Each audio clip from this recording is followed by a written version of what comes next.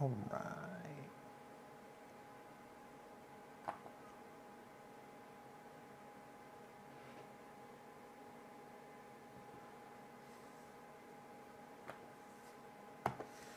All right, I think we're working. Hey everybody, welcome back to the shop. Welcome to another live stream here at EP3D Studios.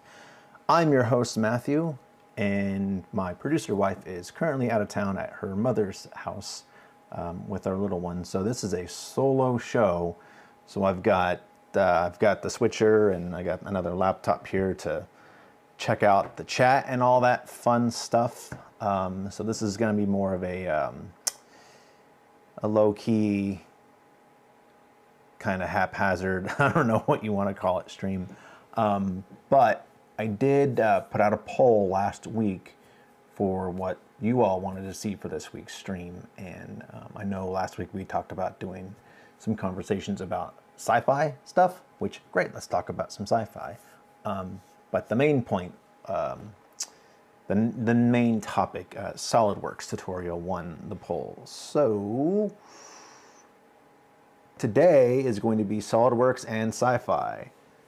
What's going on, Ricardo? Uh, I'm doing very well today. Um, I hope you're doing great. Um, like I said, this is going to be um, just a chill stream, and part of that is I have uh, I have something to 3D print as well. So this this is still 3D printing related. Um, what's going on, Ray? Glad to have you here, bud. Um, where was I? Yes, this still is about 3D printing and sci-fi and SolidWorks. This is going to be a crazy show. Um, but I have my two trees SP5 up and running. Um, oh man, I forgot to get those pictures. Um, I rebrained it and rewired a bunch of it and put Klipper firmware on it and all that fun stuff. I had it running Klipper with the Sonic pad, um, doing some testing, and it you know Klipper runs fine on it. Um, but I wanted a standalone deal, so I got a the BigTreeTech Pi and a screen and stuff like that. So that's how that is going. And if I'm staring over into this area, all my tech stuff is over here. And I'm, I haven't done live editing in years. So trying to live edit and run the stream is going to be a challenge. So apologize in advance for any weirdness when it comes to that. Um, but I do have, let's see, camera, what, three is the, no, camera one is the printer. So check it out. Ha! Printer shot. Boom. Cool. Ian Brown 2575. Hey, how are you? I hope you're doing well. Even from 400 miles away, I can make sure you all give him a tough time tonight. Yes. Yes, she will. That is Ian Brown 2575 is my producer wife, and she is a couple of states, well, technically one state away. She could, on a clear day, she could see California from her mom's yard, which is kind of cool. Um, so yeah, they're they're a ways out, having a little vacation time slash work on the farm time. So solo show. But uh, first things first is I got a print to get started that you guys could watch go. Um, maybe. I know Ed, the old tech guy, wanted to see something. We had chatted a while ago, so maybe we'll wait on that and get into this um, before we start on that. Kyle Boaz, finally not working for a live stream. Excellent, man. Glad to see that you have some time off and you can come come join this. Um, uh, I don't know what to call it. Disaster. Um, but yeah, welcome, Kyle. Glad to have you here. Uh, we're going to learn some SolidWorks today. I actually hadn't even thought about what I want to draw, which is silly because I did some stuff yesterday making parts for the printer, and I guess I could have shown, I don't know. Um, give me some ideas, folks. What do you want to learn to draw in SolidWorks? Um, but outside of that, let's talk sci-fi. What is everyone's favorite sci-fi show of all time? And what makes it your favorite? That's what we're going to go with. We're going to ask those kind of questions. Um, but um, yeah, let's get let's get into this SolidWorks thing. So let's see, I got to go over here and do picture-in-picture stuff. Figured out how to change the deal for that. So camera two is going to be that, and then we're to go to camera three. Yeah, get a little. Ah, there we go. That's how she does it, huh? She's so smart. so here we are. Uh, give me a drink here. uh, in SolidWorks. And we're just to start something new and go over just the basics. If you've just gotten it or you want to get it and you want to see how it works, how it compares to say like Fusion 360, which is the most popular um, like 3D CAD that um, like hobbyists and stuff use because there's a free license for it, although very limited, um, but still very functional and you could do a lot with it. This is subscription based, but it's very inexpensive um, for what you're getting. Um, even if it wasn't half as good as this, it would still be considered inexpensive in my book. So, and I have a link in the video description where you can get it and you can subscribe to it for like $10 a month or you could pay $100 for a year and you get full SOLIDWORKS Professional for makers. Uh, let's see here. Hey, Ed the Old Tech Guy. Welcome, Ed the Old Tech Guy. Glad to have you here. Uh, I got something queued up for you to watch on the machine here. Yes, I did just give you a compliment, Emily. I did. Um, so, Ed, I know we talked about a Starfleet Command trophy. That's going to take a while to print. I still have it. I'm going to print it for you, but I found something smaller as well that can print in about the time that the stream will take, maybe a little longer, but we can at least get it started and you can see it start to run. All of you can see it start to run. So since you're here, let's get started on that. Let's go back. Let's see where, let's go to where I our slicer here. I have it kind of ready to go here. It's just this, um, sorry if I'm moving it kind of fast. Starfleet Command, like coaster, like cup coaster. That's a fun one. So I've already got it all set up, so we're gonna slice her up here. And it says one hour and 11 minutes, so it we, we might go a little long. We'll see what, what the chat feels. Um, and then we're gonna go over to print and upload. And it's gonna push it over to the printer. Nice and slow.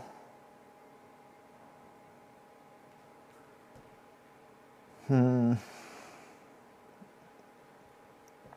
Uh, while we wait, for anybody that has joined recently um, in the last few minutes, question of the day, what's your favorite sci-fi show and what makes it your favorite? It could be a movie as well or a movie series. So um, I think my favorite sci-fi movie series, obviously Star Wars, the old ones. Um, although some of the newer stuff that Disney's doing is okay. The the was it the um, I can't forget the brain fart. The Obi Wan, Obi Wan thing was was really good, and they had Ewan McGregor do it too. So it's like keeping the same actors, sort of. That was a really good one, and and of course, um, Mandalorian's awesome.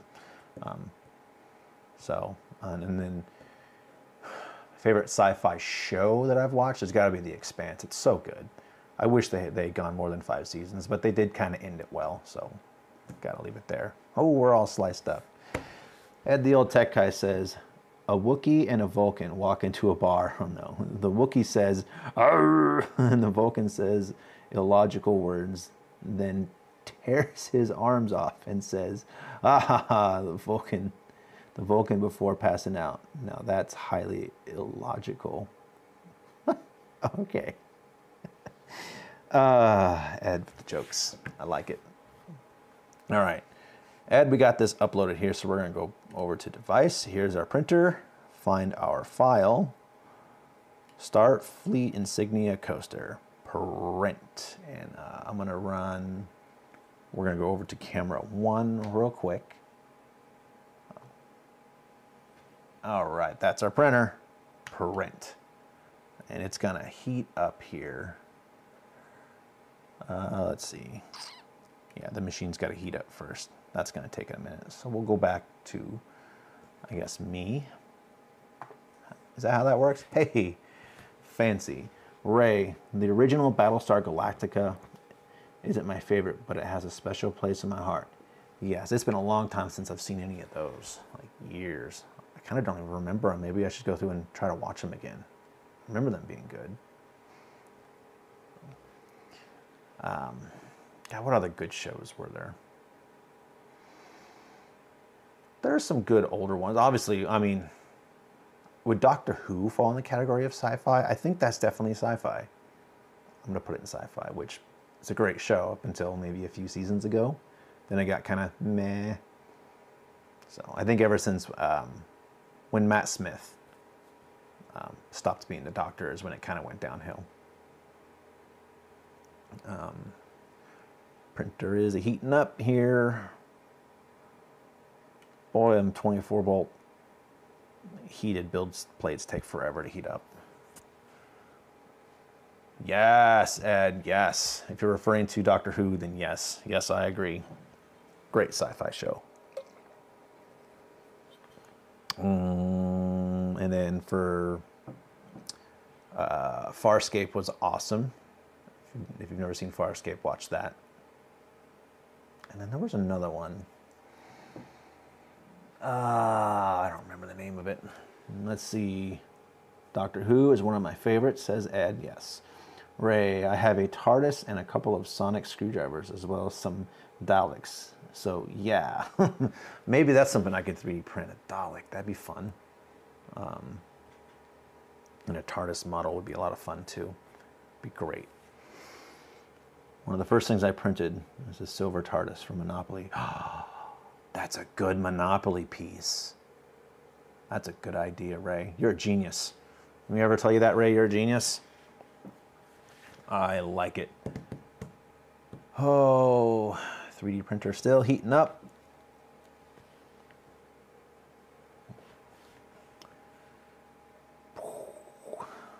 On a, on a side note for this 3D printer, I basically just got it back up and running a, a couple hours ago. So it's, uh, it's working. It's not perfect, but it's working. See, Ed says, I have a signed Matt Smith picture and Tom Baker signed picture too. Ooh, Ed, I'm jealous. I am jealous. It's, it's, it's a hard choice between Matt Smith and David Tennant, who the best doctor was. They're both the best doctor in their own right. I do have to give him that. Emily says, Nice, Ray. I want Monopoly stuff printed. Yes. Emily, we could print some Monopoly stuff. I think I have some silver uh, something or other PLA in there somewhere. Maybe we'll find some like really bright, like chrome silver PLA. That'd be really cool. Oh, printer's gonna printer's gonna print. Ed says, once I get my 3D printer, I want to make a full chessboard of characters. That would be cool. Now, what would the character like? Who would be the pawns? Who would be the queen, etc. Ed, let us know that. So, uh, we are almost we are almost to temperature here, and then we'll get on to. Um, I still can't think of what what we want to draw in SolidWorks. You guys have any ideas for what you want to learn in SolidWorks as we do this? Um, it's not going to be very formal. This is a very informal setting that we've got going on. Emily makes it formal. She she makes this a professional operation. I make it a very amateur hour. Kyle Bose says black with metallic gold sparkles. Find that for me, Kyle, and, and we'll get it.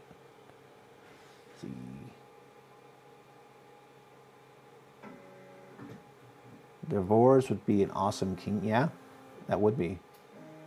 Torchwood, that was the show. Yes, Emily. Ooh, printers printing stuff. So uh, what camera is that? One. Hey, look at it go, Ed. This is for you, Ed. You suggested this. So I was chatting with Ed, I think yesterday, and he said he suggested getting a camera view of the printer printing stuff. And I don't know why I didn't think of that. That's a good idea, Ed. So we'll go We'll periodically check on this. We'll watch it put down the first layer here. Um, let's see, did it do? Yes.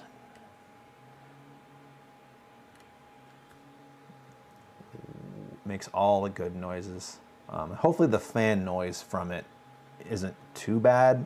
Um, it, it, used to be louder it had these two really obnoxious tiny fans in it, and the only way they could push any air is they had to run it F1 RPMs, and they were noisy. So I got a big 120 millimeter fan and stuck it in there, and it's still noisy, but not as bad. So until those little hot end fans go, and then it's kind of noisy. So, uh, see, Ed the old tech. I was thinking Marvel versus DC or Star Trek versus Star Wars or X Men versus Avengers. That would be a super cool chessboard, Ed. That is an amazing idea. Hmm, I might have to steal that. That's a really good idea. Uh, Ray says, can you use SolidWorks to model a Rubik's Cube mount slash holder? You may have missed that earlier. Yes, I can do that. Do you want it? I have a couple cubes here. Sitting up like at an angle, like how, how do you want it to orient the cube, Ray? Tell me. Ooh, first layer going down good. And hopefully it's in focus good enough. I have it manually focused. I have a, the camera's like right here and I have it a long lens, so it's 210 millimeters right now. So the uh, depth of field is super narrow. So part of this will be out of focus. I hopefully have it focused in the middle. I'm watching it on the screen. I should be watching you guys, not the screen. Emily always, um, she gets on me for that. So, but we can switch over, let's see, uh, camera, what is camera three? Three is SolidWorks. Kaboom. And then there, keep that picture in picture going. Do you guys want the picture in picture to be the printer while I do this? Let me know. Um,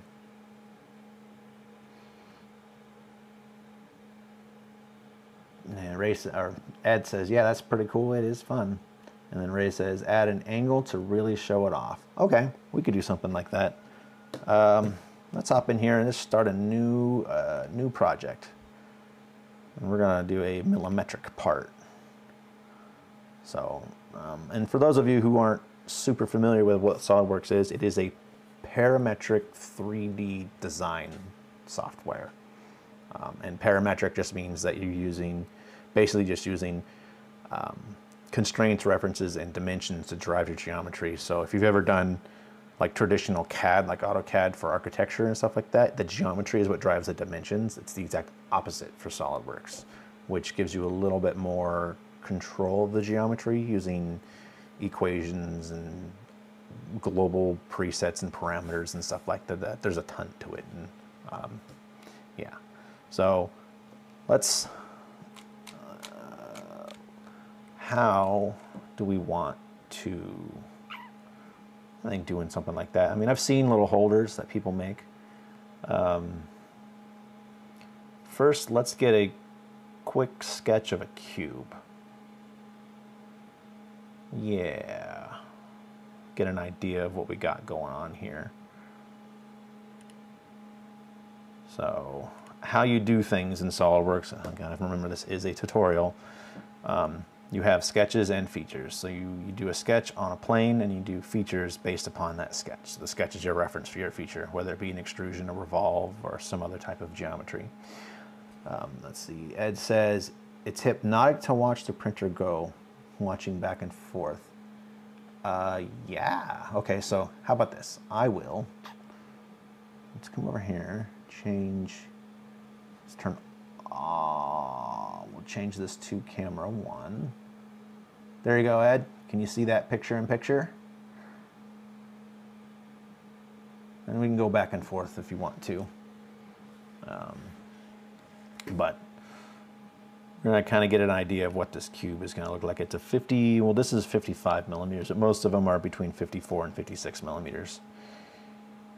Um, I want to do this. Yeah, I got an idea. Okay, so we're to start by kind of sketching a cube. I don't want to, yeah, we'll do center. Actually, no. We're to do a corner rectangle, and I'll show you how, how the dimensions drive the geometry. So we're to do 55 times 55. So, check. All right, so this dimension is what's going to drive the size of this square.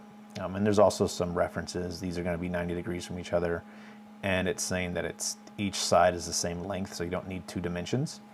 So depending on what feature you draw or what sketch feature you draw depends on automatic constraints added to them, be it parallelism to other lines and stuff like that. So if I want to make it bigger, change the dimension size 56, it will grow a little bit. Boom. Uh, sketch, but we're going to do 55. Exit. Let's see. I won't say, Emily says, I won't say for sure that I have caught Matt staring at his printer watching it go, but oh yeah, I definitely have just been like hypnotized by it going. Um, so, and hopefully it's not too loud. It's behind me. Let's see, look at my sound here. Yeah, it's not too bad. Okay, now we need another plane. So we need to draw a sketch using this line as a plane reference. We're actually going to use this. So reference geometry plane. Boom. So that's going to create a um, a reference plane to use. Ooh, she's going now. Let's check that out. Uh, camera one. Look at it go. So the nice thing about running Klipper firmware on it is you can go kind of fast and it's pretty nice.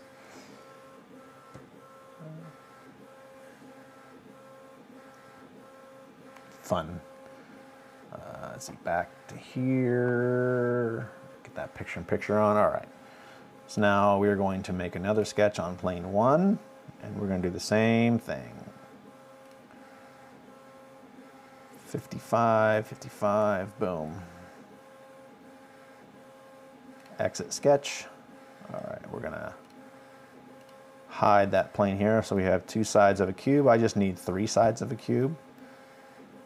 So do we have, ah, there we go. We're gonna use that plane. And now we could use So I did not give it a dimension, so this can be drug around. So I'm going to use the other sketches to drive this. And make coincident. Boom, there we go.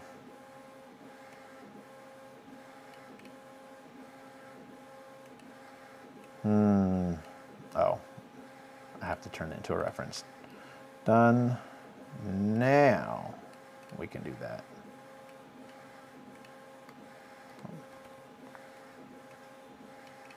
There.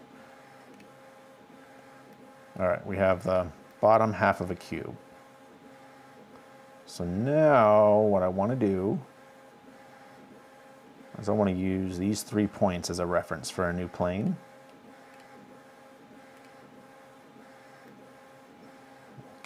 Bearings here.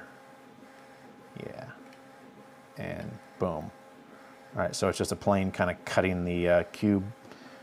If, oh, you can't see. Uh, yeah. what do we got going on here? I am off to do my part in the world to cause some mayhem elsewhere. See you all later. See you later, Emily. I love you. Have fun and stay warm. Um, oh, she's moving. All right back to here. So now on plane two, we could draw a sketch and we could use these lines as reference lines for our edges. So we will do a a triangle. Can this thing do, oh, you know what? I, kind of shapes can we do? Perimeters three. Yeah. Oh, look at that.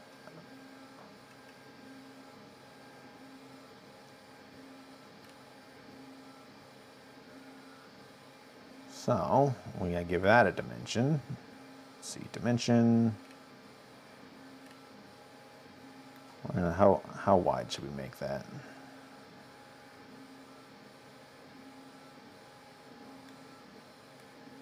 We'll say 35 millimeters.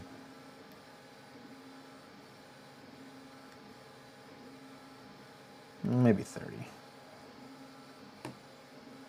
32. We're just going to go 32. All right. Now, we're still undefined. Let's see. Normal 2. What is making this undefined? I'm thinking it, yeah. So we need to tell it to reference these lines here.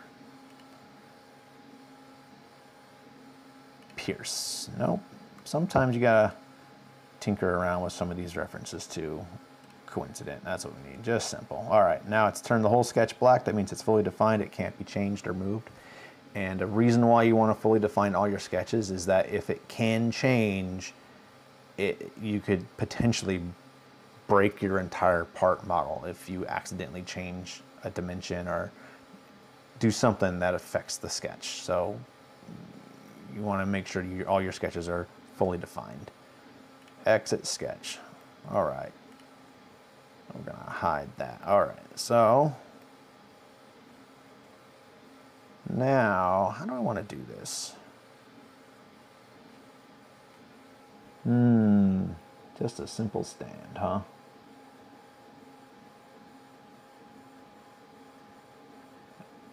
Hmm. Ray, what do I do here? Trying to think. Actually, I have, uh, speaking of sci-fi, go back to camera two. Ha, speaking of sci-fi, I have my super awesome sci-fi mouse that Emily got me for Christmas last year. It's called the Space Mouse Enterprise, which is a very uh, appropriate name for it.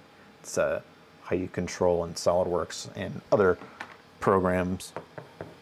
It's a lot of fun and it makes makes working nice. Yeah. Oh, it's gonna take a minute to get used to this again. I haven't used it in a while. Uh, three auto. Is that where we were at? And then picture in picture. All right. Oh boy.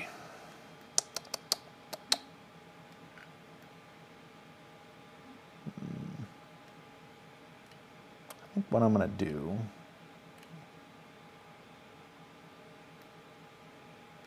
plane is that? Use that plane again. Edit feature.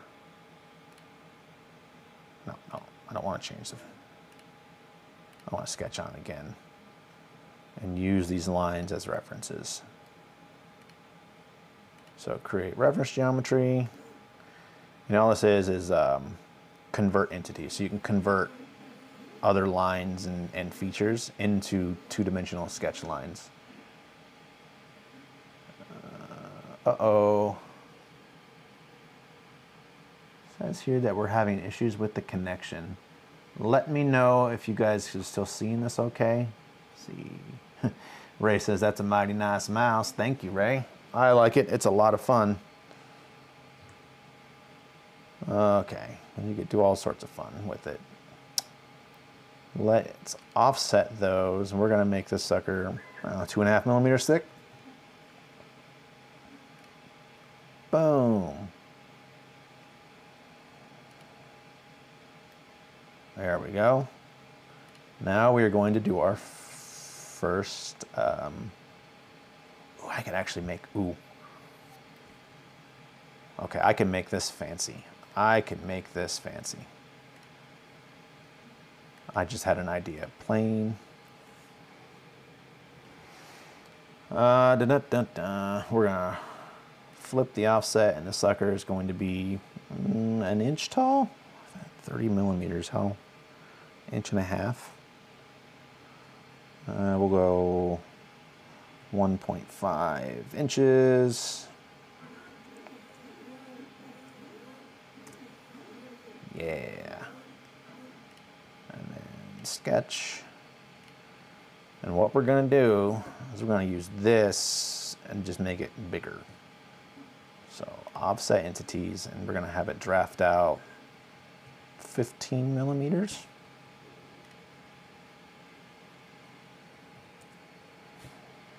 Perfect. And we're going to do that again at 2.5.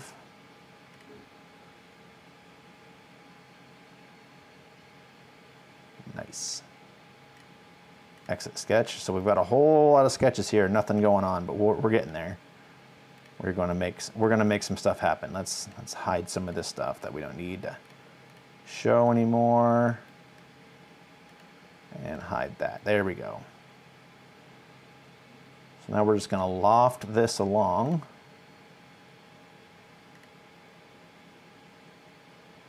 Uh, select region. No. Close loop.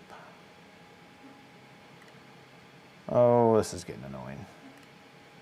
Sometimes the loft feature can be problematic.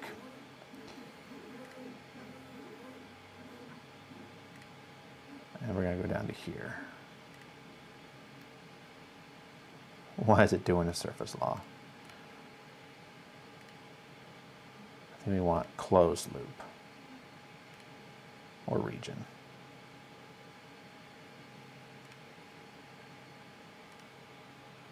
Region.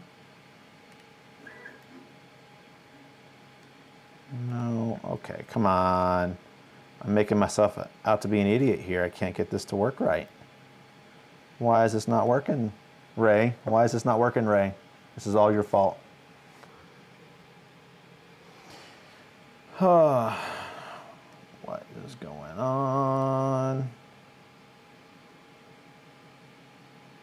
Open loop, closed loop. I want a closed loop.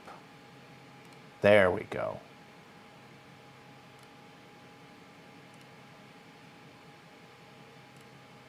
All right, there it is.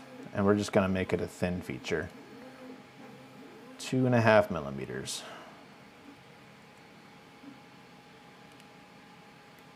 Inside. There. And we're gonna get fancy with it. Start in constraints, normal to profile.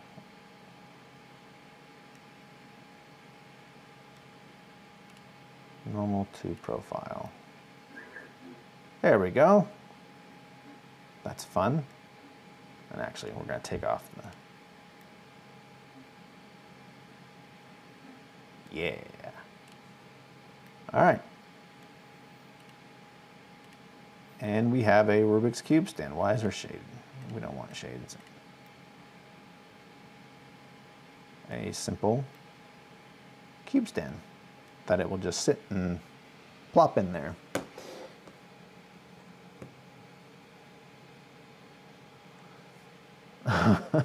Ray, you think you broke it.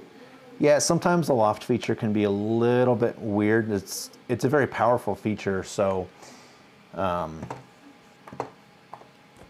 we'll go back to here. The loft feature is a very powerful feature, which there's options you could do with it that could sometimes make it difficult. Um, and a lot of it's like selecting your geometry. So I was just trying to be too complicated with it and loft a, in a contour like an enclosed contour when all I really needed was just a, a, shape and do a thin feature, which you saw me do. I figured that out. So sometimes for certain things, you got to think of it more simply. So, and that's what I did. Kyle, welcome to me and SolidWorks. Oh, now what it's telling me is, well, now what is it telling me what is wrong? Yeah. So it's a learning process. Um, I don't use the loft very much, but just for what I saw in my brain, what I wanted this to look like, the loft was the right feature. Um, so, um, Kyle, what do you want to know since you're here and you use SolidWorks and you're learning? Same with you, Ray. What do you want to know?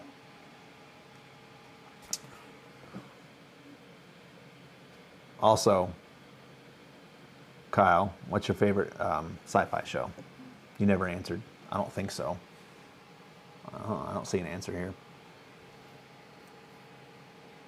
English is hard. You know, Kyle, I get it. English is hard even if I get enough sleep. So don't don't beat yourself up.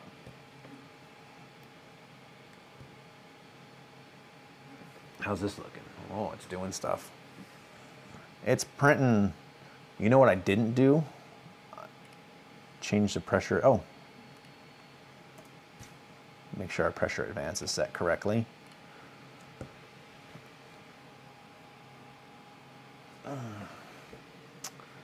Um, Yeah. And then if I want to 3D print this, which I think I will because this is kind of cool. I like it. Let's add a little bit more detail though. Let's let's give the corners, the edges some radiuses.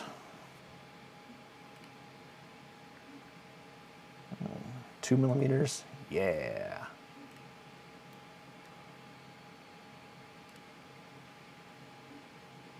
Excellent. And then, see, will it let me chamfer this? Nope. Cancel. I want chamfer. One. Let's see, will let me do it on this sharp turn? It does. And we're gonna do a two millimeter chamfer. All these edges so the cube sits in there nice and snug. Oh man. That's nice. And let's add a little one millimeter fillet around the top edge.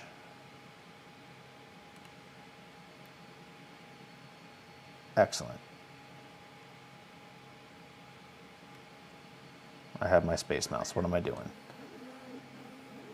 Oh, fancy, fancy. I'm going to print this tonight.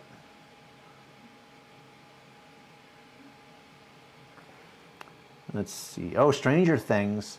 Yeah. I would consider Stranger Things sci-fi, definitely. Um, it's very strange. Um, it's a good show, though. Let's see. Ray at Kyle, have you read any of the comic books from the Umbrella Academy? Oh, I heard those were good. I heard those were good. I never read any. I'm not much of a reader, so take it for what it's worth.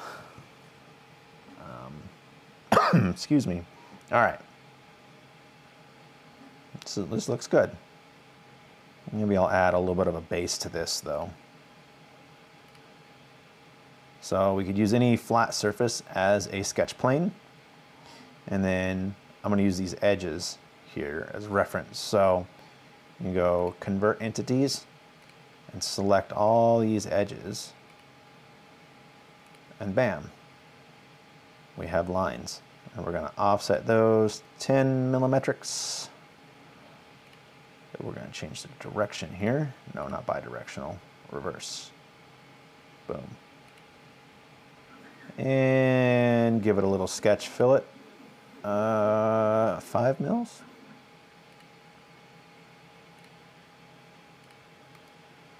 Excellent. Exit sketch. And we're going to do a simple extrusion, and it already knows the profile we want. And we're going to make it two and a half millimeters. And then make sure it's not, oh yeah, that's fine. That's perfect.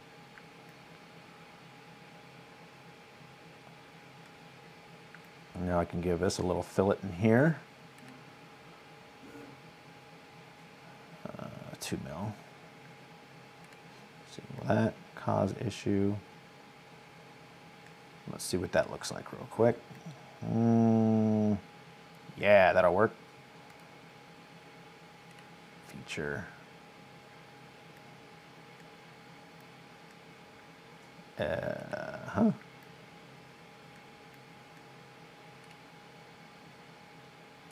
Those look good. And everything needs a rate. Everything needs a fillet or a chamfer, chamfer everything. Um, one, it looks nice, and two, it helps with actually structure. When you have sharp inside corners like this, I mean, obviously this isn't gonna be a functional mechanical part. It's holding up a cube that weighs like 50 grams. Um, oh man, I'm, I'm on the wrong camera. I'm sorry, guys. Ha!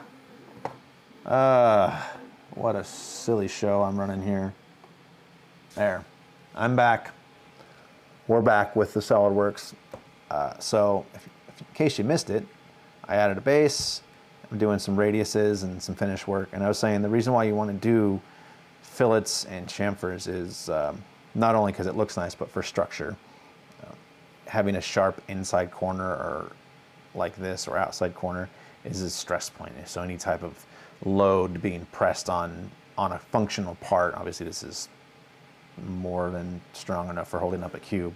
Um, but for other functional parts, all that stress will get pushed to this very sharp inside corner, and that's where it would break if it were to break. So you add fillets and chamfers to mostly inside corners here, and that helps spread that stress along the surface. And with 3D prints, the most of the strength in your 3D print is going to be in the shells. Um, so the infill helps, but the shells are most of the strength. So, oh wow, I need to catch up on the chat here. Let's see. Kyle says yes. Not pictures are good though. Yes. Drew, Drew, you made it. Welcome. Uh, Sorry, you're late. It's Canadian Thanksgiving this weekend. Yeah, you had mentioned that earlier. It's Canadian Thanksgiving. Do you guys do Thanksgiving a month, month and a half earlier than us, just because it's so cold up there in the end of November? I think that might be why. Uh, Ray says he just had his. Oh, Ray, are you? Ray, are you Canadian? I didn't think you were Canadian. Let's see. What do y'all eat up there for the occasion? Hopefully something better than turkey. I still think they have turkey, Kyle. Um, what other? Is there any like, hey Drew, is there any authentic Canadian cuisine that we don't have here in the States? Does, does Canadians actually have their own culture or food, or are they just, I don't know. Canadian culture's weird. uh, Drew, you did turkey yesterday? Oh. Holy cow. Malig, Maligwent Mulligatawny soup. I don't know what that is, Drew. I can't even pronounce it. uh, ooh, and a recipe. glad you, Drew says, you're glad you made it see Blunder along. As for my instructions from Inley, geez, Matt, YouTube much? No, I actually haven't been YouTubing much, and I need to get back into it. So, yeah, razz away. Moose, Kyle, moose.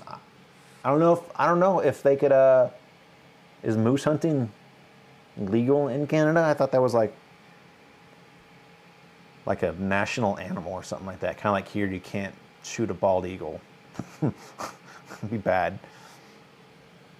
Um, ketchup chips. Oh man, I forgot about ketchup chips. Yeah, so funny story my very last deployment, um, we would get a lot of like schools and stuff like that do like care packages for the for the troops, and we got a care package from a Canadian elementary school, which was weird. Um, a Canadian elementary school sending an American Air Force squadron a care pack, whatever. But there was a bunch of Lay's ketchup flavored chips in the care package and we thought it was a joke. Like we literally thought it was a scam. Like what is this? What what are these kids trying to do to us? And then we had to look it up like oh this is really a thing in canada. Um, and i gotta say they were not as bad as i expected them to be but still not great. Um, uh, let's see. Drew mulligatawny. That sounds like a, a native term. Kevin can't or shouldn't shoot an eagle. A bald eagle, Kevin, you cannot shoot, well, you shouldn't shoot a bald eagle, and I think it is a crime. You can go to jail for that. And why would you want to? That's just rude, Kevin. Uh, strongly suggested not to. It's a nice way of putting it. all right, where were we here? So we added some radiuses, blah, blah, blah, blah. And then the bottom, some good old chamfers. So if you're designing a part for 3D printing, you got to think about how you're going to orient this thing or whatever you're, you're making on your build surface. And I typically don't like to have fillets or radiuses on the build surface because there is a point where the overhang is too steep and it either has to be supported um, or if you don't support it, it looks terrible because it can't make that smooth transition. Um, and then even if supported, it looks bad. Like typically with 3D printing, supporting a curved surface doesn't look good. Supporting flat surfaces is okay, and even angled surfaces is all right, but curved surfaces, avoid it at all costs. So when you do your designs, try to design in a manner in which you you know it can be 3D printed, um, limiting the amount of potential for failure and potential for it looking terrible. Um, and then also for if you're doing functional parts, orient knowing which way the layer lines are going so you have the most strength across your layers. Um, all that fun.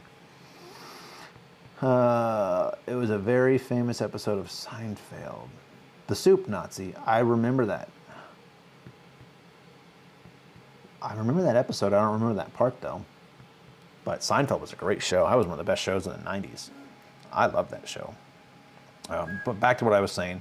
Um, with surfaces that will be contacting your build plate, instead of a radius or a fillet, do a chamfer, um, a 45 degree chamfer, because most any printer worth its salt nowadays can do a 45 degree overhang without issue. So, wow, that is huge. We're gonna do one millimeter. There. So you still get a nice, you know, bottom surface with the chamfer and it's gonna still, you know, it's gonna print and look good. You don't have to worry about supports. So um, we're gonna do a, ra a radius in here. A one millimeter fillet. Oh, that's looking good.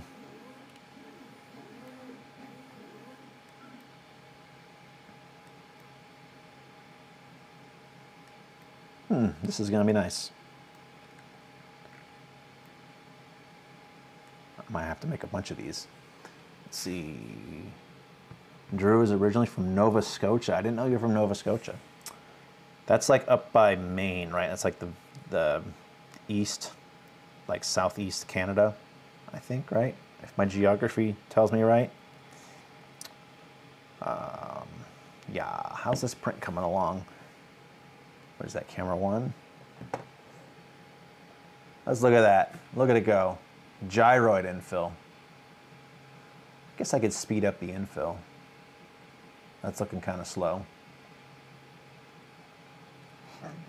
Yeah, back to three with our picture in picture. Let's see, back to the chat.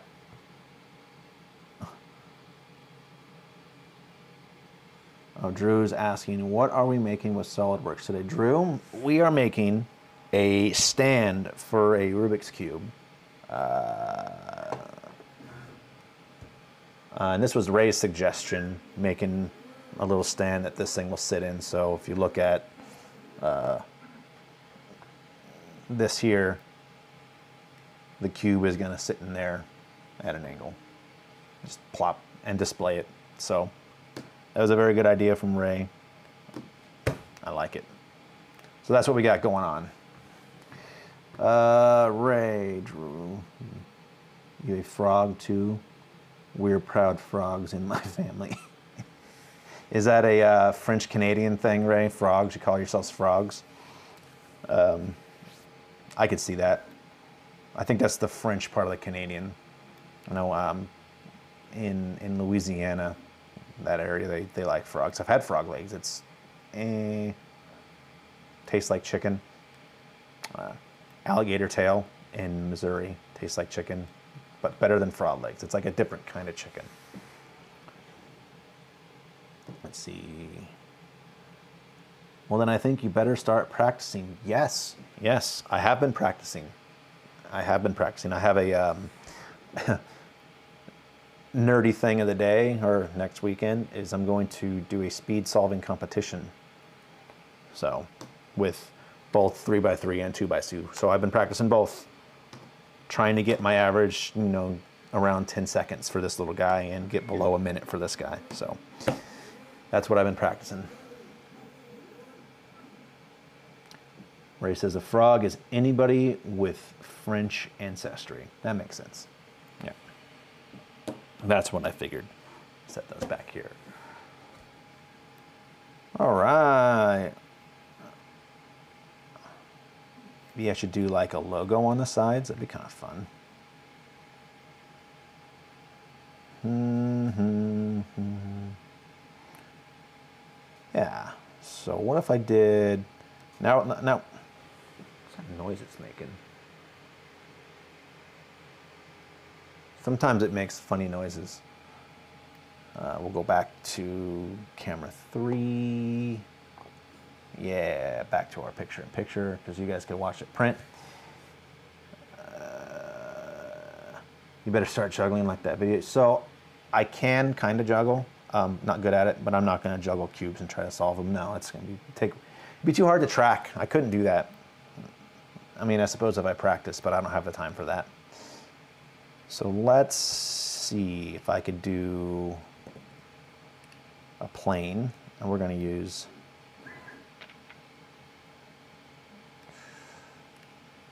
that edge. Current combinations of references and constraints are not valid. Okay, how about that edge? No. No.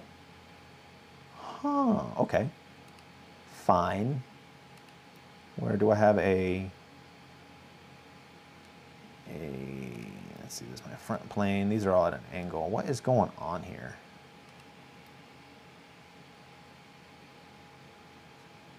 Why is this? I've got this thing oriented so, oh, it's because the way I did the cube, yeah. That makes sense. I want to do like a name on the sides. That's what I want to do. Do some text here.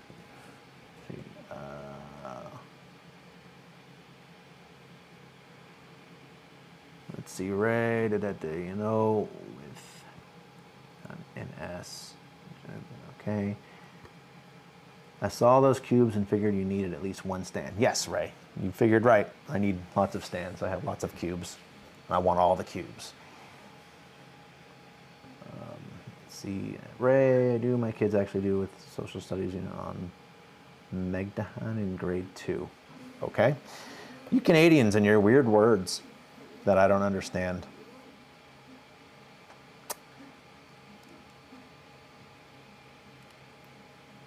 Mean, I guess technically that's the correct angle.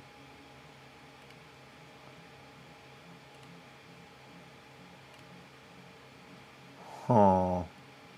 Oh, so that is not going to work. Oh.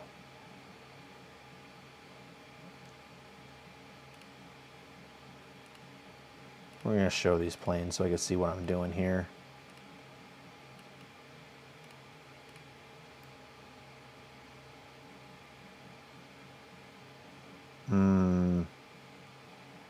So I need a plane perpendicular to this one. Uh, select. This is a plane. Perpendicular. Boom. Hmm. What is my second reference? I don't have a second reference. You're adding all sorts of angles, Ray. Meteghan. Meteghan. Meteghan. What is Meteghan? I don't know what Meteghan is. I'm pretty sure you said something and I just didn't read it. No frogs, blah, blah, blah, blah. I don't know.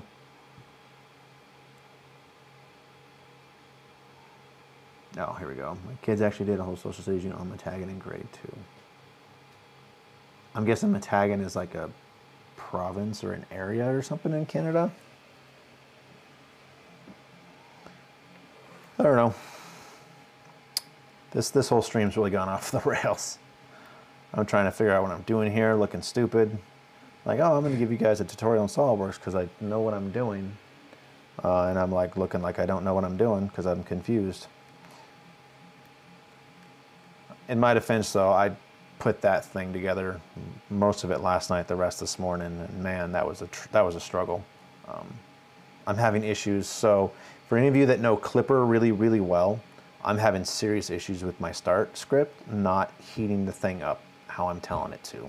Um, so, and that's specifically in Orca Slicer. I'm trying out Orca Slicer because um, we have the Bambu Lab, it works. We're using Orca Slicer because it integrates with it really well. Um, so, and I like the way that I like what they have going on. So I want to start using Orca Slicer.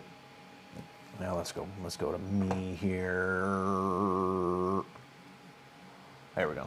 I want to start using Orca Slicer, um, but it's a fork of Prusa Slicer, and any Prusa Slicer, clone, Super Slicer, all that I've ever tried has given me trouble with Start G Code or Start Scripts. So I've been an idea maker person for a long time, and I love it. Um, but there are some features in Orca Slicer that I like, um, and I got to get used to using it. So something about Prusa Slicer or Orca Slicer, something about it with Start G Code and Start Scripts it, I've never had luck with it. It always has given me problems.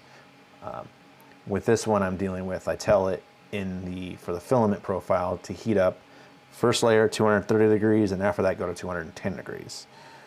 And then I have a start script that I took off of the forum uh, and a friend of mine uses and he says it works fine and it has a default temperature of two or 190 and it will heat up to 190 and ignore my first layer temperature. And then once it gets to the second layer, it heats up to 210 where I have it going. So I don't understand why it's ignoring the first layer temperature, but recognizing the rest of it. I don't get it. It's very frustrating.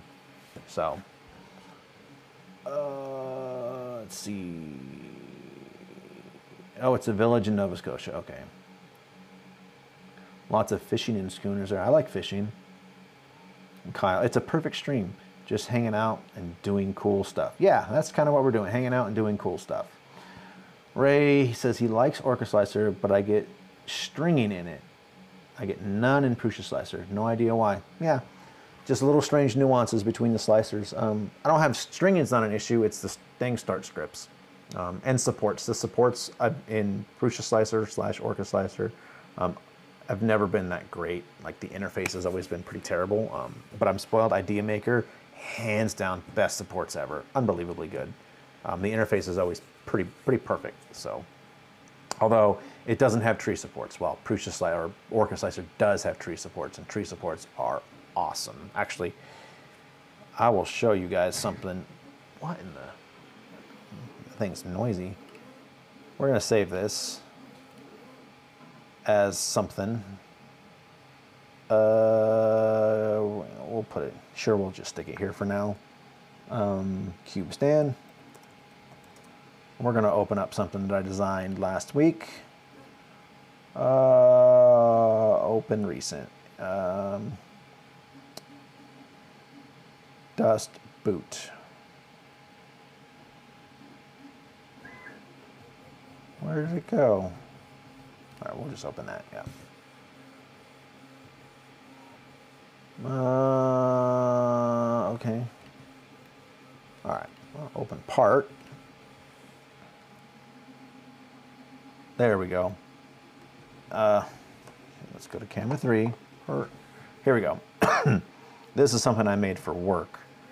Um, and this is a dust boot for the spindle on our CNC router at work.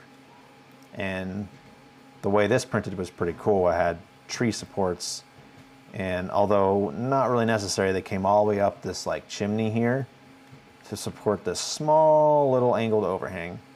And this is just for the vacuum hose to, to, to lock in. Go back to the how it sits on the spindle. So that's how it looks on the spindle. And you could rotate it any which way. And then of course inside here we're gonna, you know, we have a brush that you stick in there. So you get that constant suction. So, but that was a complicated piece to draw. That, I think it took me a good four or five hours. So, but looks cool and it printed well. The sim cab. Oh, yeah, I can do that. Uh, where'd that go? FS1000 model. Is this it? There. This is a little model flight simulator I did. Um, turn that back on. And uh, all I had was a little die cast, like a little teeny tiny die cast model as a reference, um, and pictures. And this is what I came up with. And uh, it turned out really nice. Uh, da, da, da, Drew, what diameter spindle is that? Uh, 72 millimeter is the main, um, the, where it sticks out, that black portion. Go back to it here. I'm assuming you're asking for this diameter here, 72 millimeters. So it's a 2.2 kilowatt spindle. So we'll come back to me. Boom. Hey, editing and such. Kyle says, can conf confirm it's super accurate. It's accurate enough. Um, we have plans on making a big one um, in multiple pieces, and we found little electric actuators that you can control with an Arduino. And so we're gonna actually run a, build a program, like build the thing on some little electric actuators, and then have a script that runs on an Arduino that will make it move around and such. And so that's that's a, a project that we're getting into. So obviously, very constructive things to do with our new Bambu Lab printer. So, but in this, the second day of owning that thing, of, of us having that thing at work, it paid for itself like tenfold. Because I had to make a small little spacer for a button and a TCAS indicator um, to fix it. And yeah, it's like thousands of dollars, if not over $10,000 to send those things in for repairs when we could spend 30 cents on a little bit of plastic. so uh, Kyle Bose, take my money. I'll print you one. Or I could send you the STL. You could print it for yourself. Let me know. Kevin says, the sim cabs look great. Donkey Romper, giddy up. What's up, Donkey Romper? That is a great name. I love that. It's terribly inappropriate and it's perfect. What's going on, man? Hope you're doing well. Um, got our mission. Let's let's check on our print we're, we're, we're running into this hour here very quickly. Actually, we're at an hour, so we're, we're probably going to have to end this soon. Uh, one, there we go. Oh, look at it go. Oh, that's actually getting pretty close. How far along are we? It's got 16-ish minutes left. At 75%. Ever since I've switched to Klipper, my time estimates for um, finish time between what the slicer says and what it thinks has always been off. But yeah, about six. So we'll hang out until it's done. How about that, everyone? Hang out for another 15, 20 minutes till this is done. Finish Ed's deal here.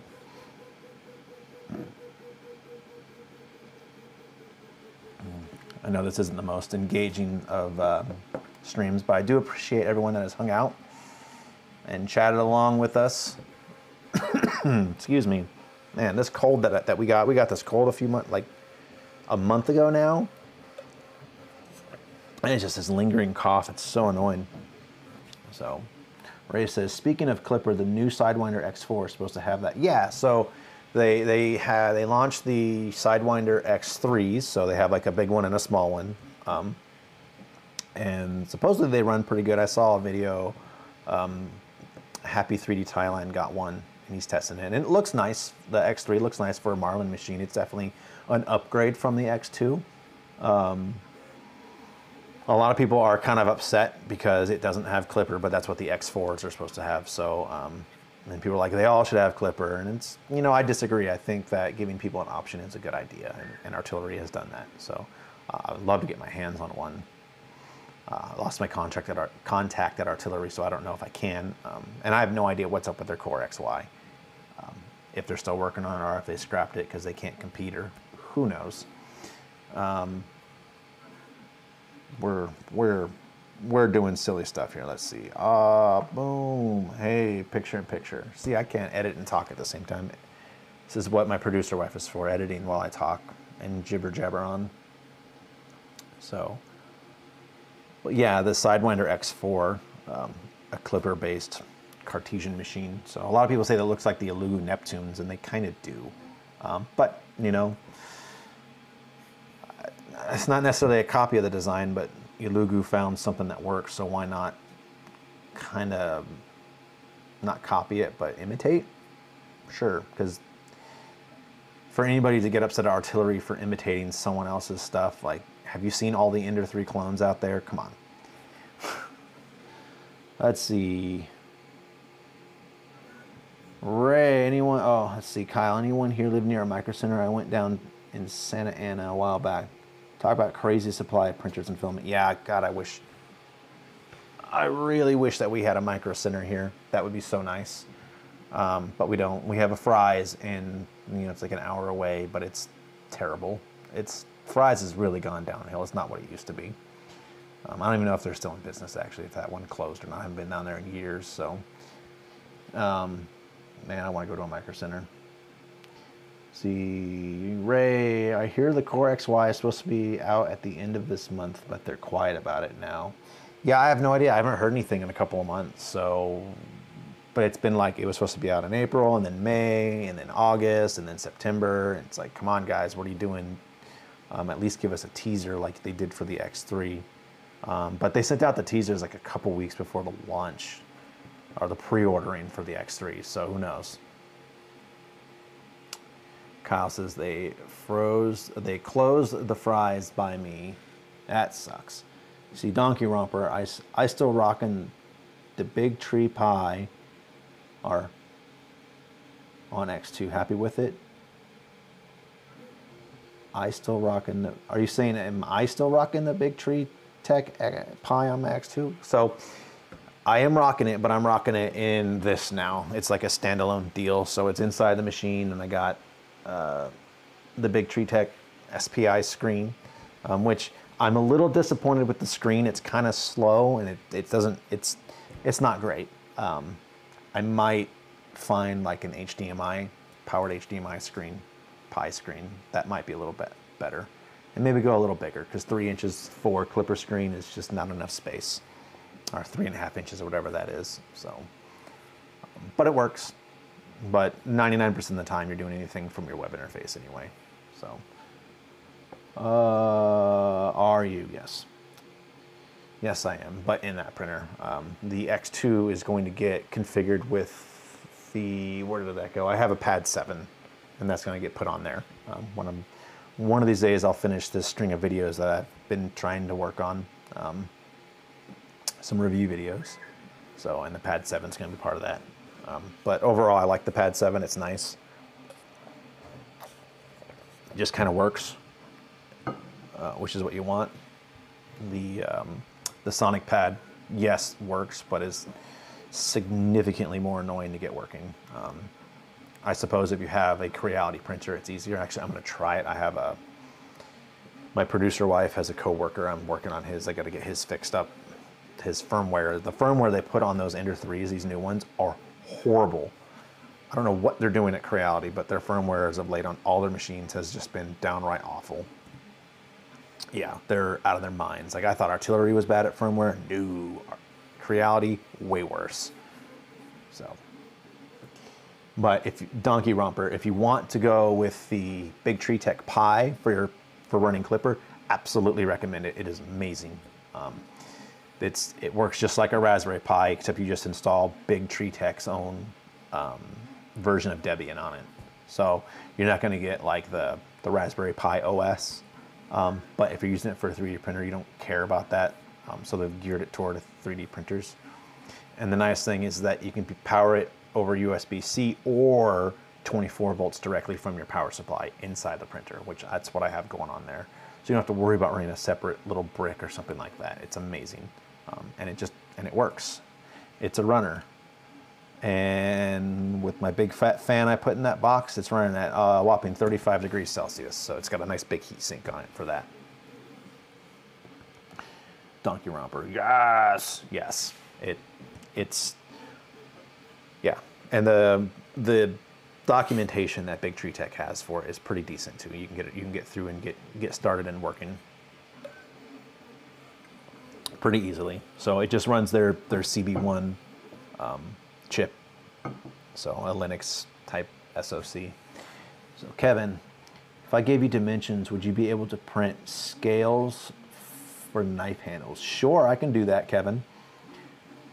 Uh, Donkey Romper, should I get any of their add-ons? Uh, what kind of add-ons? What kind of add-ons do you want?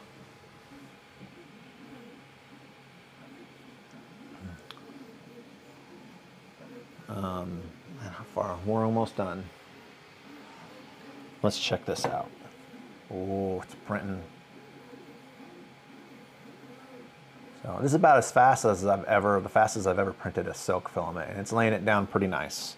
So it's a Hatchbox blue silk. Um, it's it's good. Kevin says, awesome. Yeah, just send me the dimensions, Kevin, and um, I can help you out with that. So, waiting on a response from Donkey Romper. What add-ons do you need for your Pi? Oh man. 10 minutes left on the print. We will we will end the stream when the print is done and I show it off to you guys. And then um, I got another thing to print later. That's going to take probably a good day or so to send off to a fan. So. Boop, boop, boop, boop. This is the, the after hour show, the past four o'clock show. Um, for those of you that have been hanging out for the majority of this time, thank you. We appreciate it. I appreciate it. This is just more of a hangout stream, I guess. Hang out and chill. Uh, Donkey Kong. The plugins. Um,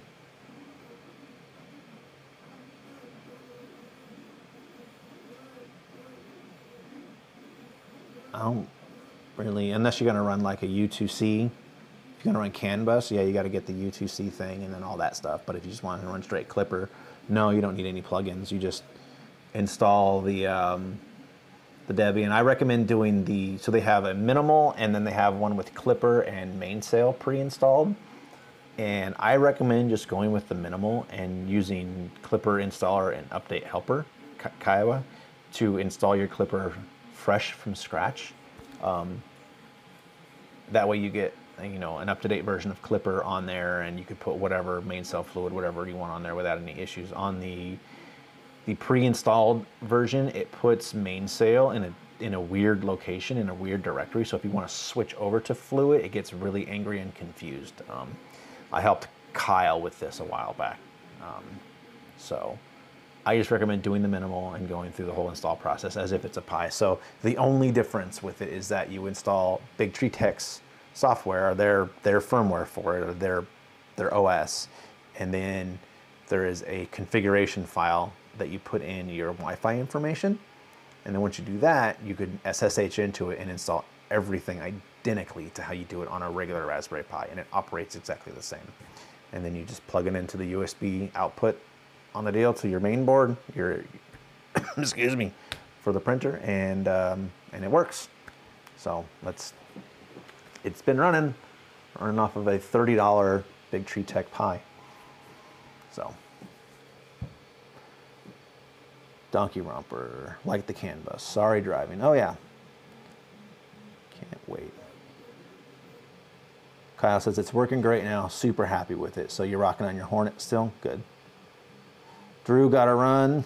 See you later, Drew. Thanks for stopping by. Happy Canadian Thanksgiving. Um, have a leftover turkey leg on, not on me. Have a leftover turkey leg for me. Mm. Ray says, have a good night. We're about eight minutes from this thing printing, finishing. So if you want to hang out, sure. If you don't, you don't. Hmm. I know you all probably have better things to do than listen to me rant and rave. We'll, we'll play Cube while we wait for this to finish. Because I'm all SolidWorks out. I don't know what else to show doing a tutorial live is tough, especially when I don't have like a goal. I plan on doing some SOLIDWORKS tutorial videos, but they're going to be heavily edited and um, scripted out. And I'll have like a, a lesson plan for it. So, so we're just going to play, play Rubik's Cube for the next eight or so minutes so this is done. Do, do, do, do. Where's the blue and orange edge piece? Nowhere to be found. Blue and red, blue and red, blue and red. Ah. So I would do like this, and then, I want to do that like this. We got the worst part of that the install was trying to figure out that it wanted my local network. I thought it was creating a private network, but it was to be broadcast. No, no, no. Yeah. So it's it's a device connected to your local network. That's all. Kevin, I don't want to get back to work. Then don't. What are you guys doing today? Hopefully everything's not hitting the fan.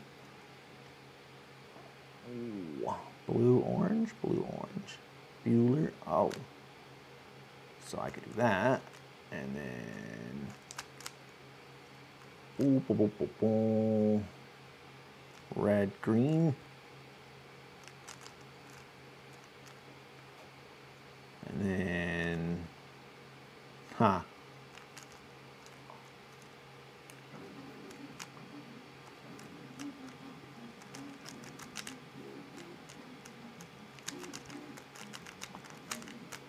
And then, let's see. All done. PMs, ah, you could finish them tomorrow. I mean, you technically have all week, right? Well, till Wednesday.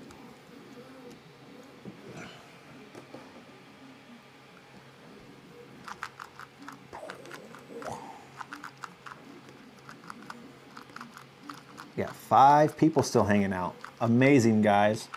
I said, this is the after hour show. We're just waiting for the 3D printer to get done. So I'm gonna sit here and play Rubik's Cube and chit chat and we'll do we'll do we'll do nothing together until you guys don't want to do it anymore. Uh, worst stream ever. And then, uh, let's see, how did that go? He go, do, do, do. Oh, I messed it up. There.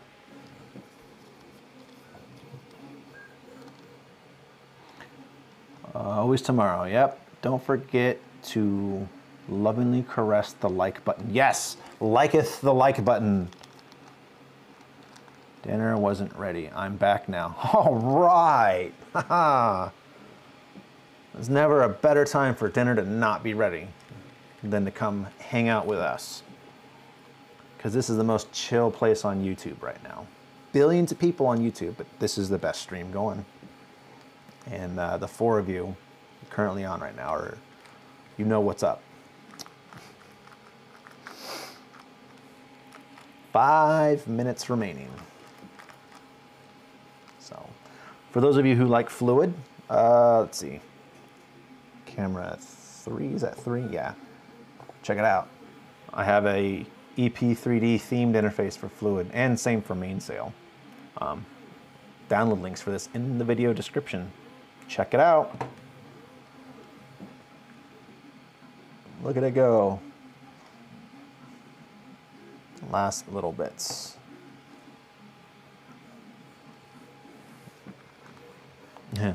Kevin, I need to go buy a cube now. Um, get, well, it depends on your budget. What's your budget, Kevin?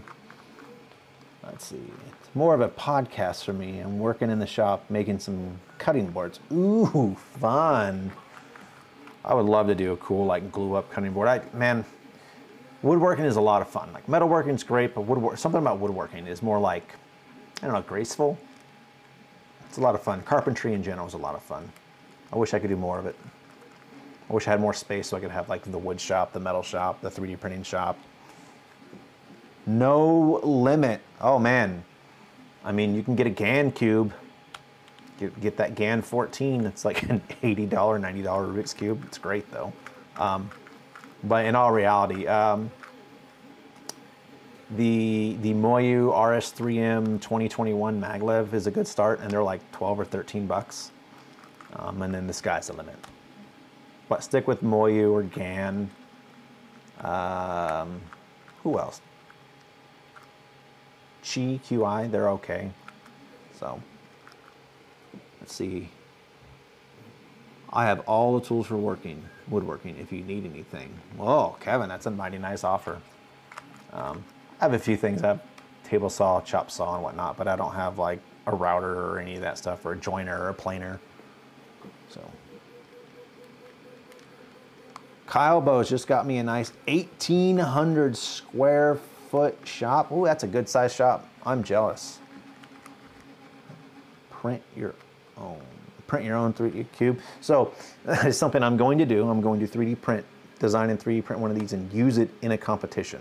So it's just got to be WCA compliant. So there's an actual like professional organization for cubing. That's a weird thing, like the PGA or whatever. Um, and there's rules and such. So nothing says it can't be 3D printed. It just has to comply with all the all their stuff. Three minutes. This has been a long eight minutes for this last part of the print. Kevin, very jealous. Yeah, 1,800 square feet's a decent sized shop. What's my shop size there? What is that? It's like a one car garage is my shop area. It gets the job done, but I wish I did have more space. Drew, I'll send you a photo on Facebook if you want to show the class. Sure, send it on over.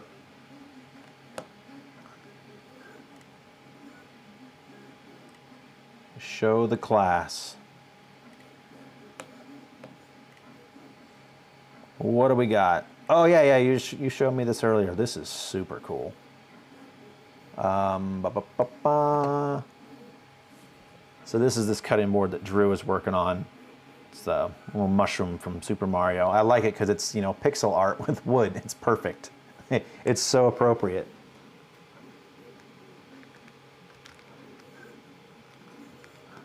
Let's see. Uh, you'll have a finished photo next week. Yeah, finish it up. Let us know. Back to two. In here. And then Kyle, those Fluidd themes get real long towards the end. I wonder if there's a way to tune it. You could you can customize the theme and change where things are at and stuff like that. I know Mainsail is significantly more customizable for the themes, so it's just what you what you prefer. So, um, but yeah, you could change how it's laid out and like where things are, and you could disable certain things. So, um, I haven't messed with this um, this installation of Fluidd on this machine really yet, um, but typically I go through and I move some panels around and I only show the, um, the macros that I actually use because it will show your start macros and all that stuff because it's still a macro. I don't need that as a button on there. Um, but things like leveling and all that stuff, it's nice to have. So, uh, time. Did I read that wrong? Am I stupid? Oh those Fluidd times. Oh. Okay. Yeah, I didn't read that right. I can't see apparently. Um, yeah, I'm. There's got to be a way. I know in Prusa Slicer you can tune some of that, but I don't. I don't know. It's a little bit off, and it's the same thing in Mainsail. It's just what Klipper sees out of the file, and it estimates how long it's going to take, and so something in the slicer's got to tell it and as it gets closer to the end, they kind of sync together. Um, never had issues with it um, with ideaMaker and Marlin. I was always within a few seconds. It was always really, really good. So um, there's probably some tuning or magic sauce in there that you got to do. Um, I know Drew. Drew was messing with that, weren't you, Drew? Getting your times to match up. So we're we're on the last couple of layers here. We're, we are on the last layer. What? We'll watch it finish. Uh, camera two, no, one. Boom. Let's, let's watch it finish the last layer here. Yes, Drew says. Let the class know how to tune the time, how to figure that out. If it's a Prusa slicer thing, it probably can be done in Orca slicer since it's just a fork.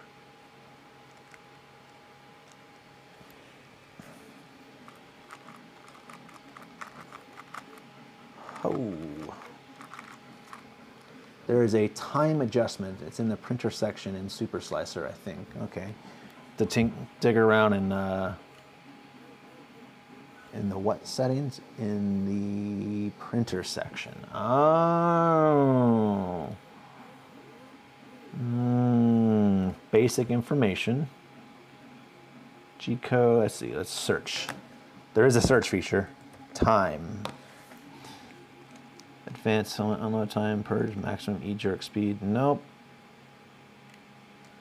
Uh, yeah, I'll have to dig in there more. I'm learning Orca Slicer. I, I have to know how to use it since we have the, the Bambu Lab printer at work. Uh, where were we here? All right. Done, done, dun, dun, dun. So let's, uh, let's pop this off of here and see how it looks. Oh. Whoa. Fancy, fancy. Turn that off now. That looks good. Starfleet Command. The cool thing though, so I wish I had a third camera. The there is for the brim options, they have a mouse ear option, which let's see if I can. That camera's out of focus. Basically, it knows where sharp corners are that would potentially peel up, and it gives you a mouse ear, and you can tell it how big to make it, which is amazing because I didn't want to put a full brim around this thing, just the mouse ear. So we'll let her cool off, and then we'll we'll pop it off of here in a minute. Let's see. All right.